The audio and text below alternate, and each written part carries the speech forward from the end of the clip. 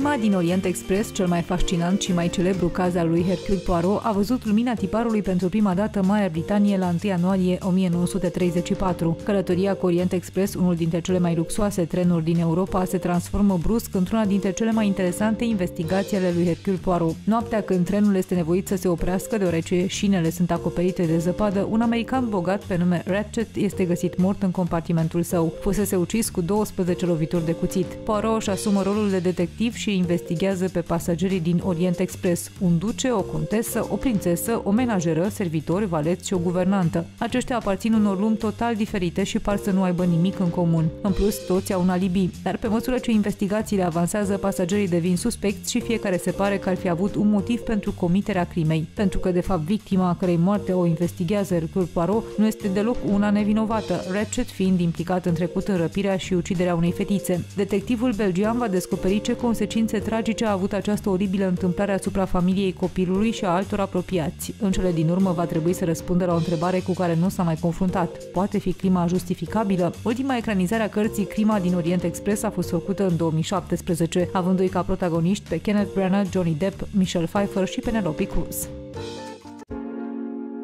O carte pe zi, un proiect de încurajare a lecturii.